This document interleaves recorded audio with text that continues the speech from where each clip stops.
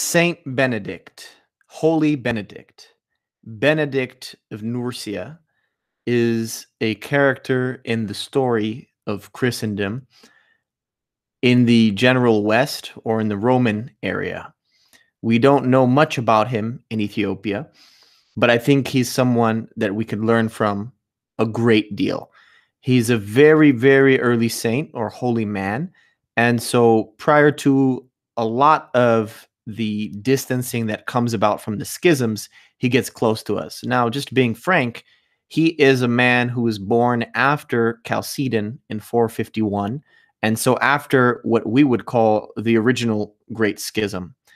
And so he is technically, not officially, probably recognized in our communion known as the Miaphysite or Oriental Communion, which I more lovingly refer to linguistically or philologically as the Afro-Asiatic Communion, right? Armenia and India, Antioch and Alexandria, Ethiopia and Eritrea.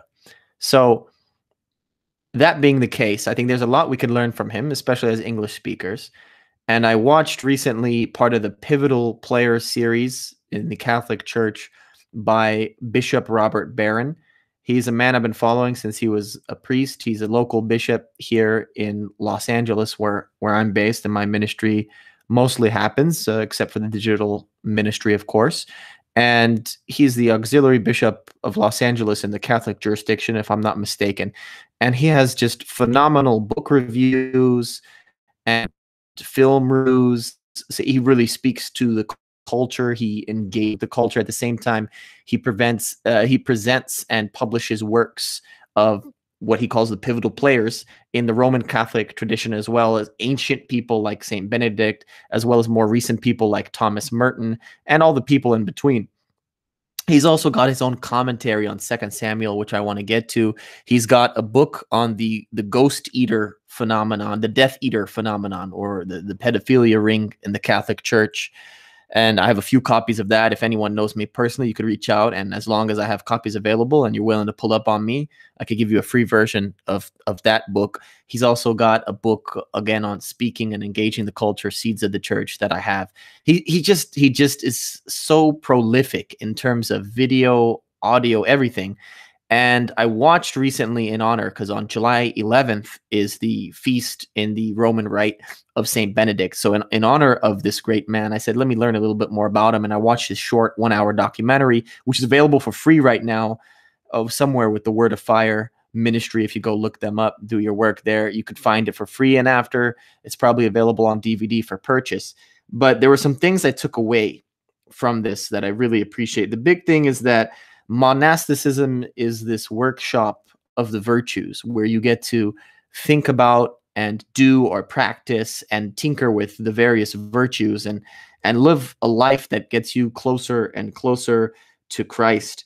He describes this main text of Saint Benedict called the Rule, which I'm now invited to go read on my own. I found a quick translation online. It's here about what 32 pages very interesting just for those who are interested in church history those who are interested in, in learning about the various traditions it's good to reach out and find the primary sources the original texts of christians of various times and various places so that you can see as cs lewis says in his introduction to athanasius of alexandria athanasius the great's great text on the incarnation. He says in there, read texts from various centuries, switch off, read something from your century, then read something from another century, read something from different places, so that you could see what biases are specific to your time and your place, and what biases are specific to other times and other places. And then what is the universal message of Christ across time and place, which is an assumption we have as members of Christendom.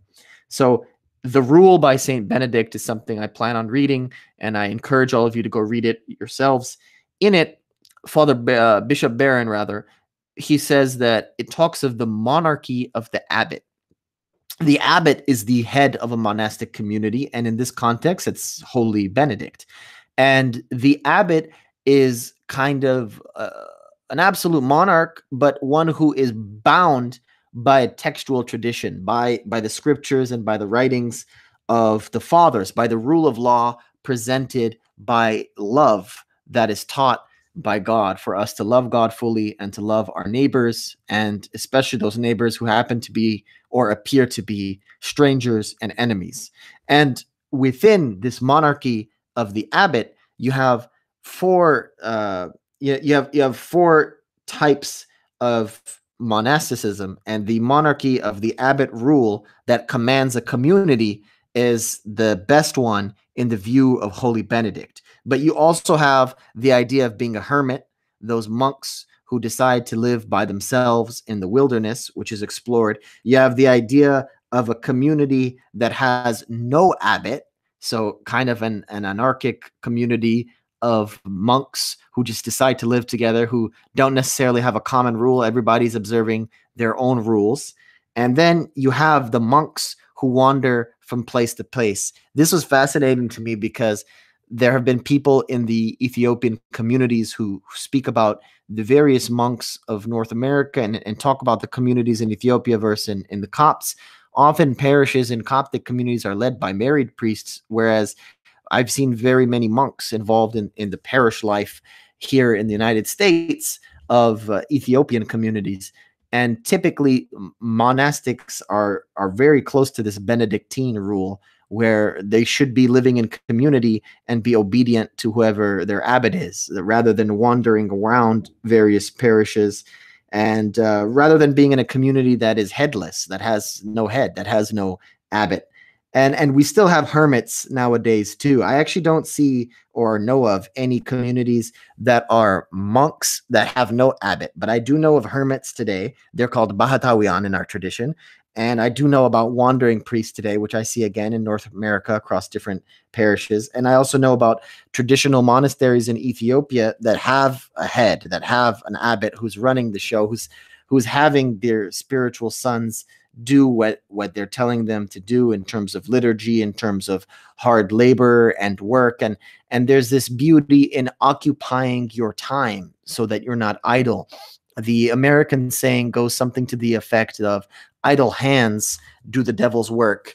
An amharic saying that is similar is uh, kuft aimro leseitan washarano or more recently kuft aimro leseitan garajno so an an open mind or an idle mind is like a cave for Satan to enter, or the updated version, it's like a garage for him to park his car in. So in, in either way, whether it's the Amharic sayings or the English sayings, this idea of idleness to be avoided and productivity, uh, the idea of being prolific in the production of you know, if your monastery is selling coffee or making beer or making clothes or candles or producing uh, psalmody music or copies of the of the Psalms text or writing commentaries on scripture or producing commentary on liturgies. Just being productive being prolific as a way of keeping god in our thoughts so that he stays on our lips and in our deeds